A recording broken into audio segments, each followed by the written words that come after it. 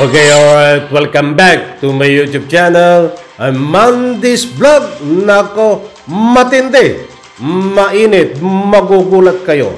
Dito sa tunay na motibo kung bakit nangyayari ito kay Catherine Camilon.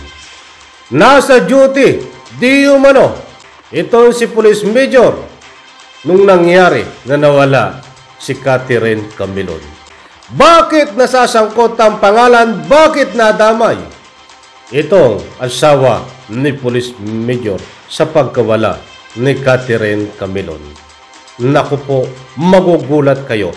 Ito po ang tunay na motibo according diyan sa ruling ng video, according sa lumalabas na investigasyon. Gusto ko pong ibahagi sa inyo ang laman ng video na yan. At kung bago pa lang po kayo sa aking maliit pa na YouTube channel, inaanyayan ko po kayo. Please subscribe. Sabay-sabay po nating i-like ang video na ito kung nagustuhan nyo po. Ako ay muling nakikiusap mga kaibigan kapag may pagkakataon po kayo. Pwede po nyo pong patapusin ang kabuuan ng vlog na ito at nang sa ganon lubos po nating maunawan. Heto na, samahan niyo po akong tuklasin alamin ang motibo kung bakit nawala ito si Catherine Camino. Kung bakit nasasangkot itong asawa ni Police Major. Samahan niyo po ako panoorin.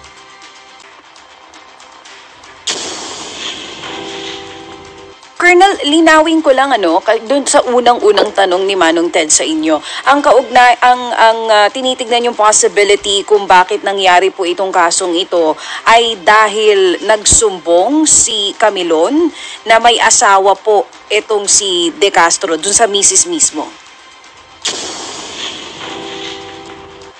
Na may Opo, ah, babae, parang ganun po. Opo, nags, ah, nagsumbong ito kung si victim natin si Catherine sa asawa ni Mayor Di Castro na si Mayor Di Castro ay may babae. Mm. Nagsumbong o kinonfront So, we're still validating those things kasi Mhm. mag, ah, malakas po sa kaso kasi pag ma-establish natin yung real motive Opo, yung motibo. itong kasong to? Mm. Opo. Okay. Si Catherine, at ang pinaka-critical natin nakitang motibo dito, Manong Ted, ay yung sinabi sa statement na ito pala si victim natin si Catherine ay nagsumbong sa asawa ni Major Di Castro na ito ay may babae. So yun po ang nakita nating ah, motibo at ah, yung involvement nito si Alan Di Castro. Ah, nakakalungkot po no ito hong ah, na malalantad po itong ganito pong uri ho ng kwento at kami po nga ay ah, nalulungkot po na ito ho'y pag-usapan pa natin pero Apo. ito kasi nga ang pangyayari Ang nakuha po namin ay puro general denial at ah, nasa duty siya noong time na yon. Gano'n din po ang kanyang explanation sa Batangas PNP. The first time this issue went in, in the open, uh, pinag-explain po siya na kanyang provincial director. Gano'n din po general denial. But kami naman ay hindi naniniwala ng gano'n at patuloy ang aming investigation as to his specific whereabouts during that time. Kasi tao nga yan at uh, nakikita na naman natin ay duty detail na he was on duty that time. No? So patuloy po ang aming investigation lalong-lalo na as of now ay hindi pa natin nakita si Catherine. This case, magbabago po ang complexion nito Mhm. or magbabago po, ma-amend namin to as we go forward with the investigation kung meron kami makakuha may pang ebidensya, lalong-lalo na yung kung nasaan si Catherine ngayon, yung katawan niya or siya mismo, no? Apo, apo. And we hope and pray that uh, safe pa it, safe ito si Catherine ano ho as we speak. Opo. Ah, But when we discuss or when we ask him about the incident, denial po kagad ang kanyang sinasagot. And he opted to harapin na lang kung may kasong isasampa sa kanya. Kaya on our part, Manong Ted, we look for other avenues no, to produce evidence against him. Kaya yan po, continuing effort po, Manong Ted, Opo, opo. To secure a conviction. Yun ang initial analysis lang po, initial, Mm, doon sa kidnapping kasi there was deprivation of liberty. opo, opo. Pero sabi ko ang ina, magbabago po ang complexion ng kaso. Kung, for example, eh, naitanong ko na rin po, if ever, ma we can develop a corpus delicti, uh, not the body itself, Opo, opo. but based on the evidence na mapuprove namin dun sa CRB na pula. If we can for, we can create the corpus delicti of this crime that there was indeed a murder or uh, any other crime, we are readily we are ready to amend any ano uh, indictment manong Ted. Opo, opo. And I am uh, quite sure ano ho, na nag-iingat kayo dito kasi baka ma-technical kayo eventually, mahirap na ano po, para ho naman sa panig ho ng biktima, di ho ba? Kaya dapat ho talaga dito ang bawat galaw ho ninyo ay naaayon sa mga procedure para wala pong teknikalidad na masisilip dito ang sino man pong didepensa. Opo, Manong Ted, uh, gan- ganun din po sa aming mga pronouncements. We Mm. cannot uh, state information, lalong-lalo na sa atin sa media, Opo, opo. kung wala po kami pinangahawakan sworn statements. A lot of speculations are circling around, Mhm, mhm. but sabi nga, we need sworn statements duly subscribed with Opo. a competent authority po. Apo, at itong mga testigong ito ay meron na hong proteksyon ngayon sa anumang pong posibleng banta na naman sa kanila ng mga aakusahan dito. Opo, Manong Ted, uh, sinisecure po natin yan ah, kasi yun lang po ang ah, so far ang ating ah, testigo. Mhm. Colonel, linawin ko lang ano, dun sa unang-unang tanong ni Manong Ted sa inyo. Ang kaugnay, ang, ang ah, tinitignan yung possibility kung bakit nangyari po itong kasong ito ay dahil nagsumbong si Camilon na may asawa po itong si De Castro dun sa misis mismo. Na may Opo, ah, babae, parang ganun po. Opo, nags ah, nagsumbong itong si victim natin si Catherine sa asawa ni Mayor Di Castro na si Mayor Di Castro ay may babae. Mhm. Ah, So, yan po, Ma'am Chacha, no? In a very big po yung ganyang statement. We are Mhm. still trying to get the specifics, no? opo. Ah, Oo, kasi ah, iba po ang, we will try to compare, iba po yung nasa statement at iba rin po yung mga nasa text, Mm. no? Doon po sa mga naunang pahayag, ang sinasabi, di umano, di umano po ito, ay yung relasyon nitong si De Castro kay Camilon. So, inaalis nyo na po yung, ah, ah, yung, pong, yung pong issue na iyon. Ang tinitignan nyo na ngayon, yung pagsusumbong na nitong si Camilon na may babae itong si De Castro.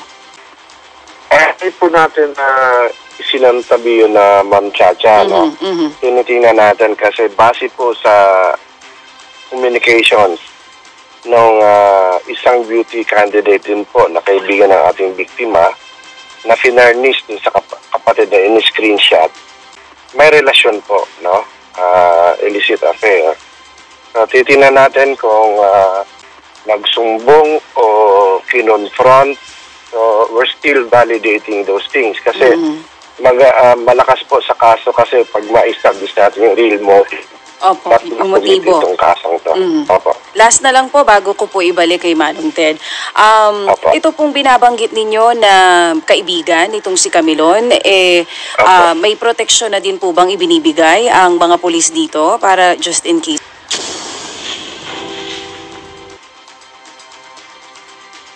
Okay, alright. Um, naku po, malinaw mga kaibigan ang sinasaad ng video na yan. Shoutout at maraming salamat. News 5, Tid Bailon at DJ Chacha. Ipaintulot to ang paggamit ng inyong uh, video clip. Eto, bigyan po natin ng highlight kung bakit uh, nadadawit itong ah, pangalan asawa. Lalong nadidiin ang asawa ho ni Police Major sapagkat sinasabi nga diyan ng ating investigador. Lumalabas ho sa umahawak ng mga nag iimbestiga dito sa kaso na ito ay itong motibo kung bakit nangyari itong pagkawala ni Catherine Camilon na maliwanag na ang motibo ay itong pagsumbong o selos mga kaibigan asawa ang ika nga po'y pinatutungkulan dito ni Police Major. Nako po, sabi nga diyan eh, aya hindi nila alam kung kinumpronta ay matindi ito. Pag nag, uh, nagkaroon po ng kumpronta. Dahil alam nyo, ang babae ho, pag uh, usapin na silos, between babae sa babae, ay nagkakaroon ho ng sabunutan yan. Kaya't nagkakaroon po sila dito ng masusi na investigasyon kung kinumpronta nga nitong asawa ni Police Major, itong asawa, mm, itong uh, si Kater Ambersore, itong si Catherine Camilon na nawawala. Abangan po natin mga kaibigan kung saan po tatakbo ang kaso na ito sapagkat marami hong anggulo. Hanggang ngayon ho, ay wala pang uh, konkretong ebidensya. Ah, na ika, ay, very sorry, konkretong pinangahawakan sila kung buhay o wala ng buhay itong si Catherine Camilon ho. Wala pa rin silang konkreto na ika nga po'y pinangahawakan kung nasaan lugar tinatago itong si Catherine Camilon. At yung iba pang suspect di umano na inutusan di umano ni Police Major ay nakakalaya pa hanggang ngayon. At siyempre, ito ang kabang-abang. Ang sabi nga sa ruling ng video na yan ay itong asawa ni Police Major. Ang motibo ay nandiyan po sa ruling ng video.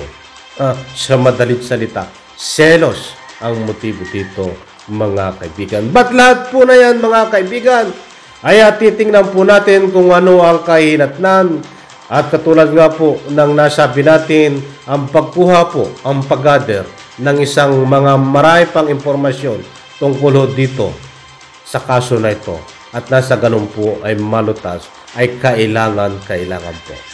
Kaunting pagsusuri lang po at sinuri ko na ang video na ito po. Ako ay nagtataka kahit pansinin nyo. Ito si, Pilos, si Police Major ay inamin na mayroon silang relasyon ni Catherine Camilon. But dito ho sa usapin na pagkawala ni Catherine Camilon ay uh, mas minabuti ho niya na manahimik. At sabi nga niya at lumalabas sa ika nga po uh, malalaking social media ah, ay haharapin ni Police Major ang kaso doon po sa korte.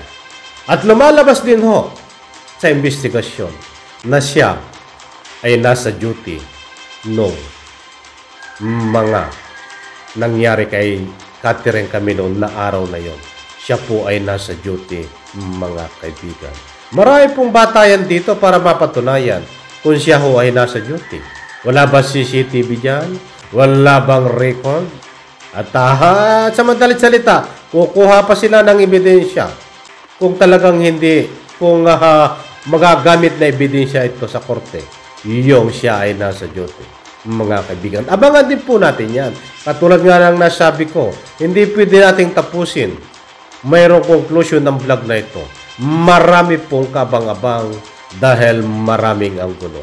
Bakit napag-usapan po natin yan datapuat? Masyadong kampante sa sarili. Ito si Police Major. Ayon po sa aking pagsusuri. I'm very sorry kung mali ang aking pagsusuri. Ay tatanggapin ko po kung ano ang paratan nyo sa akin dito sa aking pagsusuri. Kampante siya at haharapin niya ang kaso sa korte mga kaibigan. Ah, ganyan na alam nyo, ang pumapa sumasagi sa aking puso at isipan, ito ay isang public opinion na nagbabase tayo sa motibo. Ah, nagbabase tayo sa lumalabas na investigasyon. Hindi po natin na uh, maalis uh, na bakalaw pagdating sa korteho nito ay merong itong pangalan na ika sabihin kung sino ang talagang utak dito sa pagkawala ni Catherine Camilon, mga kaibigan. Hindi po natin maalis yan dahil yan po ang lumalabas sa investigation. Abangan po natin at kabang-abang ito dahil nakikita po natin kampanteng-kampante itong si Police Major haharapin, haharapin nga niya ang kaso sa korte. Ang malaking tanong, may ikakanta kaya siya? Ha? Sino ikakanta niya na talagang utak dito? Sino ang ipagkakanulo niya? Ah, mga kaibigan, Lalahanin po natin, lumalabas po sa investigasyon ang may motibo itong asawa dito tungkol sa usapin sa pagkawala ni Catherine Caminon. Yan po ay isang public opinion na nagbabase po tayo sa ruling ng investigasyon na lumalabas mga kaibigan. Kaya't kaabang-abang po ito. Hindi po natin alam kung mangyayari ito. Mga kaibigan, abangan na lang po natin. Maraming salamat diyan po sa comment section. Ano man ang inyong public opinion, ay ah, buong puso po ire-respeto yan. Bashers man o hindi, may karapatan po kayo magbigay ng public opinion diyan ang inyong sariling salubin. Maraming salamat. Sabay-sabay po nating i-like ang video na ito kung nagustuhan nyo po. Pagpalain po tayo lahat. Palakpakan.